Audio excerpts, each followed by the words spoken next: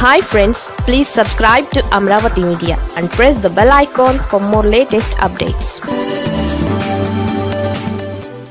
TDP Janasena పొత్తు ముందుంది అసలు కథ. తెలుగుదేశం జనసేన పొత్తు ఖరారు కావడంతో తెలుగు తమ్ముళ్ళలో ఆనందం కనిపిస్తున్నా నేతల్లో మాత్రం టెన్షన్ పట్టుకుంది. తమ సీటు ఎక్కడ పొత్తులో భాగంగా పోతుందో అన్న ఆందోళన చాలా మందిలో బయలుదేరింది. ప్రధానంగా ఉత్తరాంధ్ర ఉభయ గోదావరి జిల్లా నేతల్లోనే ఈ భయం ఎక్కువగా కనిపిస్తోంది.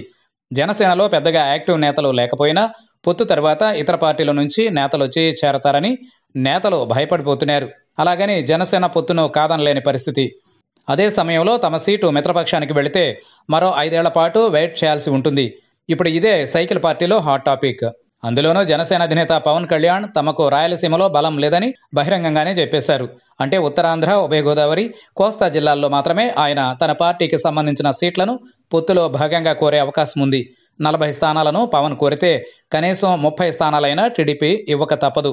సీట్ల విషయంలో రాజీ పెడితే కేడర్ నుంచి నేతల నుంచి పవన్ వ్యతిరేకత ఎదుర్కొనాల్సి ఉంటుంది.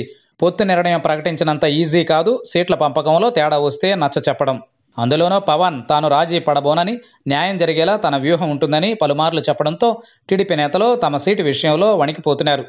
ఉదాహరణకు సీనియర్ నేత పంచకర్ల రమేష్ ఇటీవల వైసీపీని వీడి జనసేనలో చేరారు. ఆయన గతంలో ఎలమంచిలి పెందుర్తి నుంచి పోటీ చేసి గెలిచారు.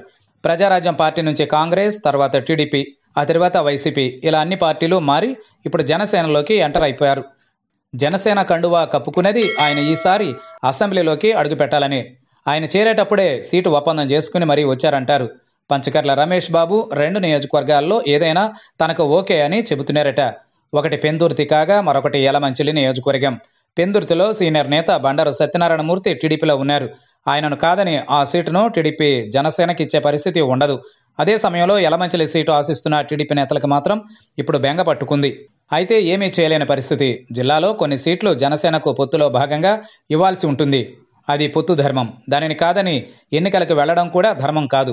అలాగని తమ రాజకీయ జీవితానికి ఐదేళ్ళ పాటు కామా పెట్టుకోవడం కూడా కరెక్ట్ కాదు.